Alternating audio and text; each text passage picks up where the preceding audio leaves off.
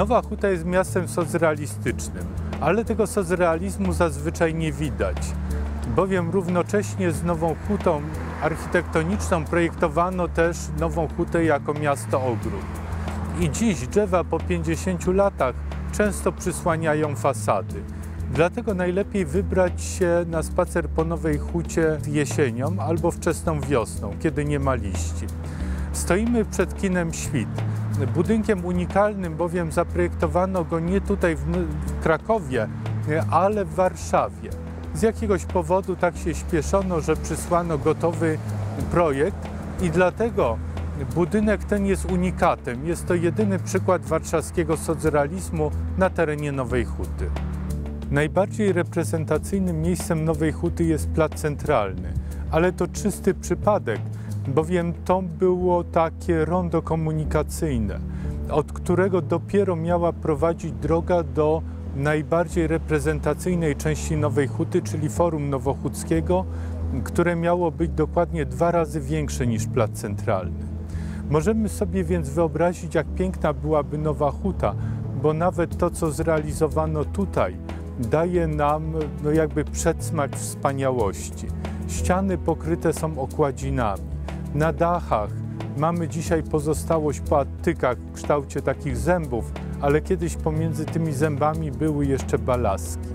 Do tego reprezentacyjne sklepy, różnego rodzaju neony, które rozświetlały cały plac centralny, dziś znane są już tylko ze zdjęć. I obecnie właśnie plac centralny jest taką jakby wizytówką Nowej Huty.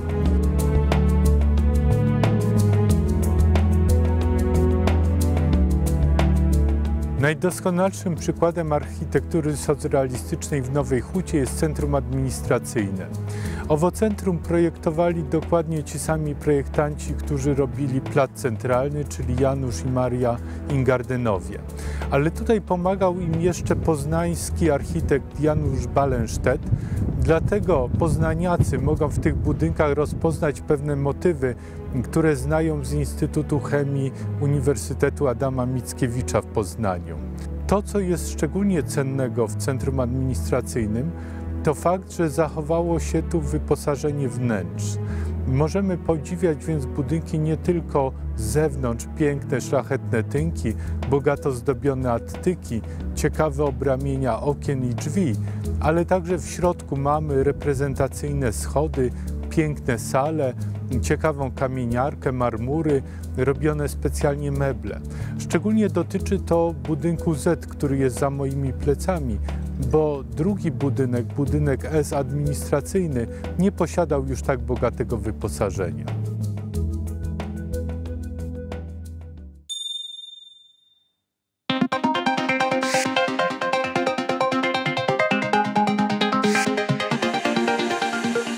Muzeum e, Historyczne Miasta Krakowa tutaj w tym oddziale od kilkunastu lat już prowadzi taką pracę nad opisaniem fenomenu Nowej Huty, fenomenu miasta Nowej Huty i dzisiaj dzielnicy Nowej, Nowej Huty. Witam Państwa, witam też Panów i Panie, Panie i Panów na wystawie Sport w Nowej Hucie.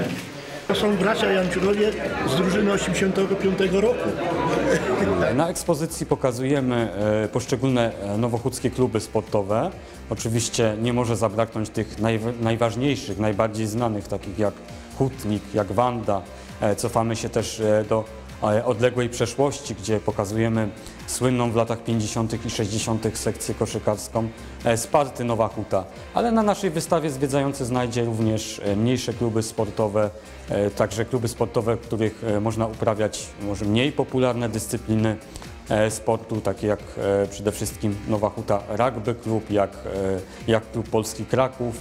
Początkowo do sportu trudno było namówić zwłaszcza tych przyjezdnych pracowników, którzy przyjechali tu na hasło budujemy nową hutę. Sport był takim tabu po wioskach, po mniejszych miejscowościach.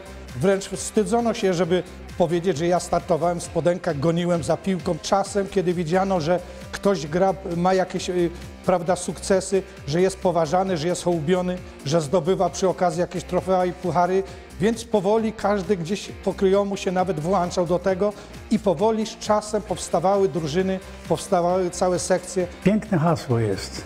To były piękne dni. Niestety, były to piękne dni. I ta wystawa nawiązuje do tych dni.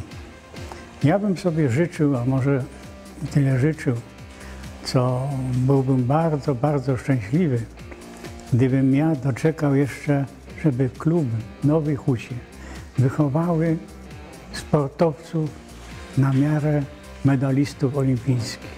Czyż to jest niesamowity zaszczyt dla klubu, że wychował medalistę olimpijskiego. A tak było w piłce ręcznej.